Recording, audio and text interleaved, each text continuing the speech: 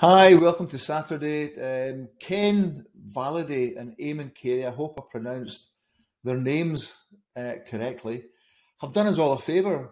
Uh, they have invested the time to explain in short form format most of the common terms and acronyms bandied about by us in the startup and scale up world. What a great idea! Really? Has nobody thought of this before? Incredible. Um, Ken has a 17 year uh, senior marketing background in the global drinks industry, and he jettisoned this in favor of helping global brands connect with the growth possibilities of young startup ventures. Guess what he found? He found that there was a real barrier in getting them to speak to each other. Uh, they didn't really understand a common language around startup world, and even when they were using the same terms, quite often uh, they had different definitions of what those terms meant. Boom!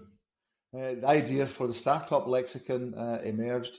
So Ken managed to co-opt uh, Eamonn Carey into the project. Eamonn has a, a long history in the tech investment world uh, with organizations such as uh, Techstars, the fund, and more recently Tera Ventures. So together, they have produced a very useful contribution for the startup tech and investing world, uh, containing over 200 short definitions of commonly used terms. Let me give you some examples reverse vesting, CAC, MAU, fume date, a brand new one for me. Didn't know what fume date was. I do now.